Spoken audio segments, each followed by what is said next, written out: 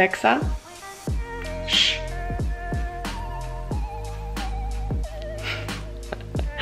Wir haben ein ähm, neues Spielzeug zu Weihnachten bekommen ähm, beim Wichteln. Und jetzt haben wir Alexa bei mir zu Hause und es ist ziemlich witzig. Natürlich habe ich die ganze Zeit Panik, dass sie alle Gespräche aufzeichnet und sie zu Amazon schickt, aber naja so ist es halt. Ich habe den Vlog noch nicht so wirklich eingeleitet, obwohl ich jetzt, obwohl es jetzt schon Montagnachmittag ist. Ich war heute Morgen in der Physiotherapie und es war super entspannt und habe dann einfach so ein paar Haushaltssachen gemacht, wie ihr ja gesehen habt.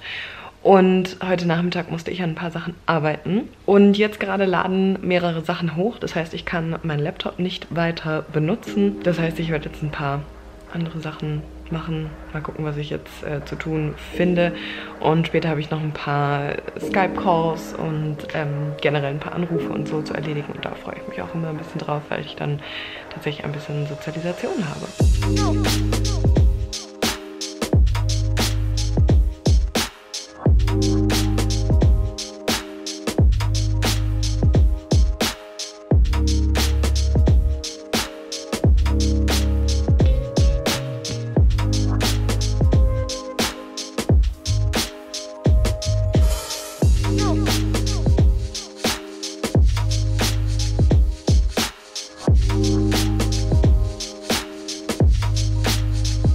Morgen. Wir sind jetzt inzwischen wieder bei mir.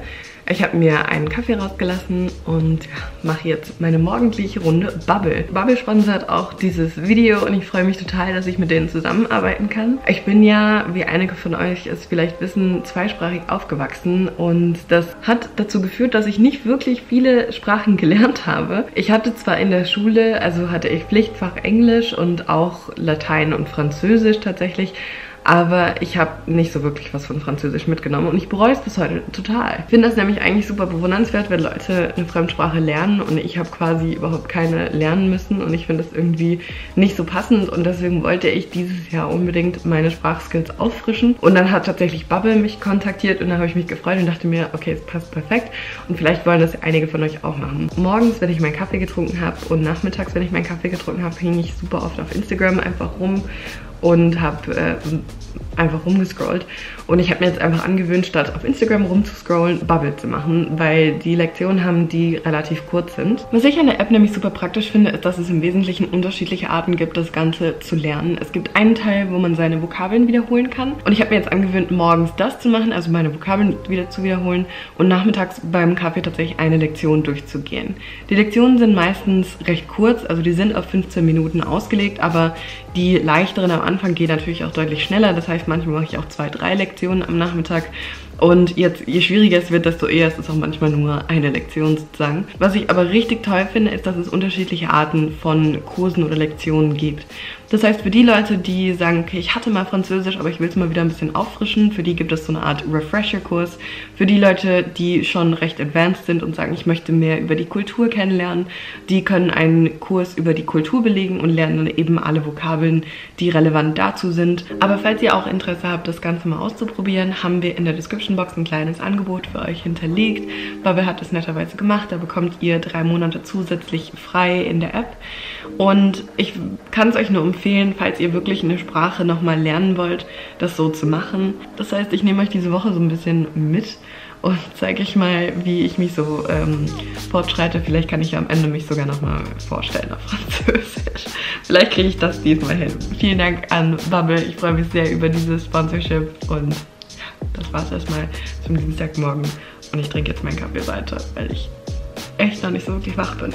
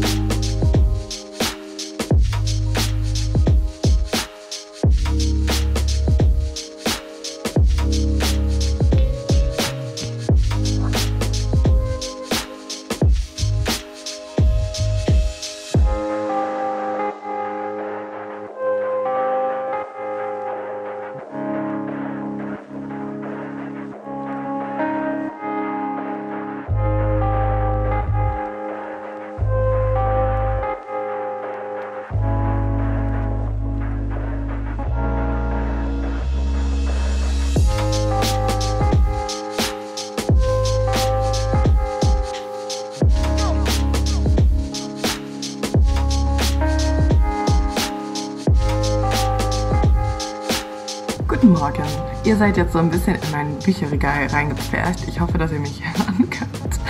Ähm, ja, es ist Mittwoch. Ich habe gestern überraschenderweise meine Arbeit äh, fertig gemacht. Ich habe für Springer einen Online-Kurs wieder erstellt, einen neuen. Ja, aber ich habe den deutlich früher fertig bekommen, als ich es jetzt eigentlich erwartet habe. Ähm, das heißt, heute mache ich so ein bisschen Admin Day.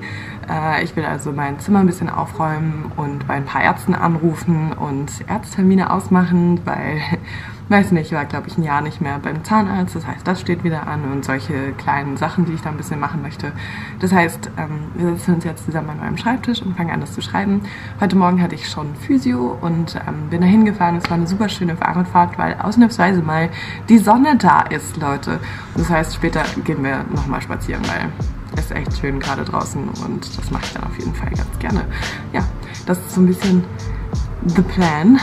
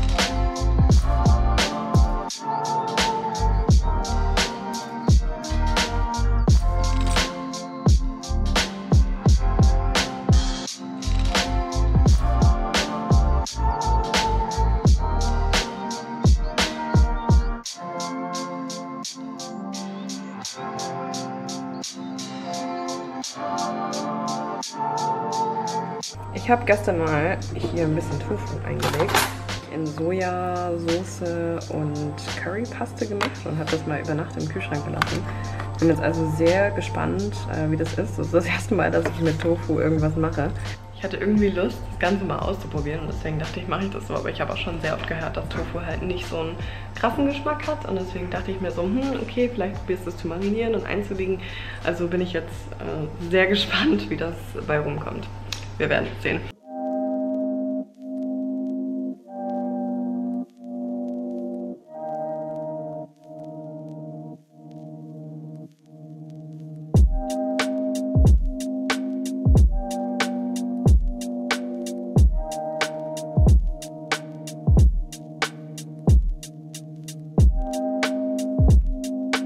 Wir haben ja noch nicht so richtig gesprochen. Ich hatte jetzt gerade Mittagessen und habe einen Kaffee getrunken, natürlich, um wieder die Energielevel hochzubringen.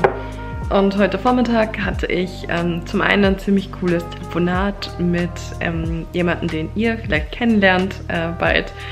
Und ähm, ja, es ging um ein Video zu einem bestimmten Thema, was ich ziemlich cool fand. Und danach war ich dann beim Zahnarzt.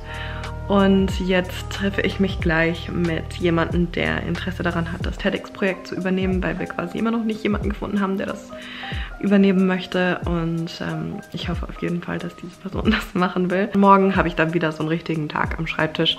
Wenn ich so Termine habe oder Telefonat oder so, wo ich mich mit Leuten besprechen muss, wo es ganz wichtig ist, ähm, dann mache ich das total gerne an einem Tag alles, weil ich dann sozusagen einfach einmal alles abhaken kann und dann nicht den Druck habe, noch irgendwas anderes zu erledigen. Und dann an Tagen, wo ich halt wirklich am Schreibtisch sitze, kann ich wirklich ganz entspannt den ganzen Tag mein Zeug machen. Und das finde ich halt deutlich angenehmer, als ähm, ja dann immer wieder weg zu müssen und zwischendurch woanders hin zu müssen. Finde ich irgendwie deutlich angenehmer.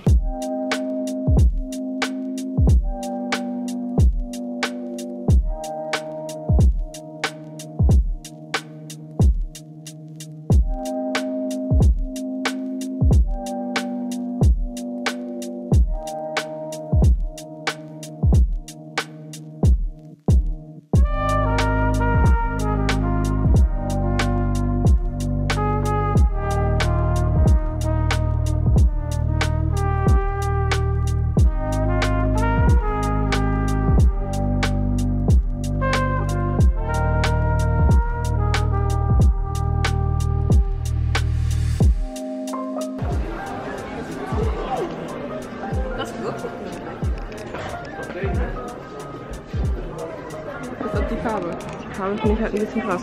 Ja, aber die gibt es, glaube ich, in allen Farben. Ja, aber Wie heißt denn das? Northborg. Hier, guck. Die gibt's alle. Oh wow.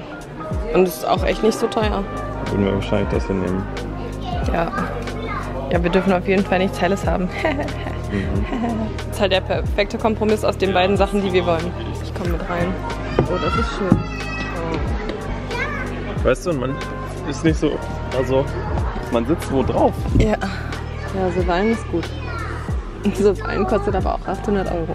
Dann wurde die Hälfte bezahlt. Und das ist auch ein guter Stoff irgendwie. Ja, der Stoff ist gut. Da kann ich auch drauf kleckern. Ja, musste nicht, aber. Aber es wird unweigerlich passieren und das ist wirklich gut. Das ist billiger. Ja, wenn wir wieder Geld haben. Wahrscheinlich sagt teuer. Das ist das? 239 für das ganze Ding. Oh, das geht ja. Ja, aber der Plan ist, dass wir vielleicht sowas machen und ich dann zwei solcher Billigregale nebeneinander habe und dann außen für Geschirr. Das wäre sehr cool. ja, CD- und DVD-Regale haben, glaube ich, ihre Zeit schon abgesessen. Ach, das ist es. Ja. oh, guckt, sowas dann. Das haben wir dann später einen ganzen Raum, so, der so aussieht. Es muss nicht so altbacken aussehen. Meinetwegen. Deswegen ja auch die gelben Sessel und nicht ein braunen Sessel. Dann sieht es ja nicht so altbacken. Nee, ich finde, dass die Struktur des Holzes macht das. Aha. Das hatten wir von Großelternhaus. Das hier, das hier wäre hoffentlich das Ding für die Kaffeemaschinen. Dass wir dann hier die Kaffeemaschine haben und hier dann die Siebträgermaschine hinten und hier dann die Mikrowelle reintun können, weil wir nicht sonderlich viel Fläche haben werden. Und dann könnte man hier so eine kleine Kaffeestation machen und unten unsere Kaffeesorten rein und Tee und Teekanne und so weiter und das hier so ein bisschen neben die Küche noch stellen.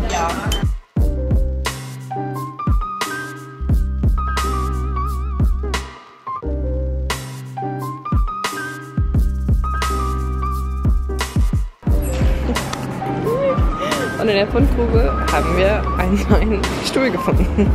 Ich rede mit der Kamera. Aber war ziemlich erfolgreich. Ich habe ja offensichtlich einen neuen Schreibtischstuhl gefunden. Und zwar war der runtergesetzt von 200 auf 90 Euro. Und ähm, mein Schreibtischstuhl ist nicht sonderlich gut. Also ein sehr erfolgreicher Typ. Und wir haben viele Sachen gefunden, die uns gut gefallen. Also insbesondere so Couch und so Sachen. Ähm, wir wissen halt noch nicht so genau, was wir uns leisten können an Budget. Ähm, und rechnen jetzt mal quasi das Optimale durch, was uns halt passen würde. Und dann gucken wir, ob wir an manchen einen Ersatz finden oder ob wir manche Sachen einfach wirklich nicht so dringend brauchen, wie wir es uns überlegt haben.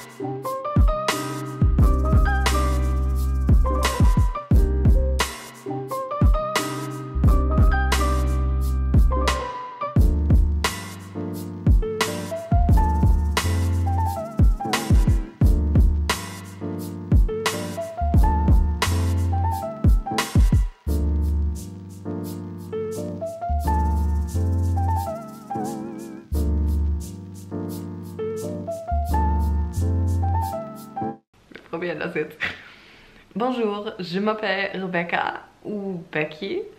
Euh, J'habite au Heidelberg et j'ai 26 ans. Euh, oh. Tu n'oublies pas liken et subscriben. Yeah.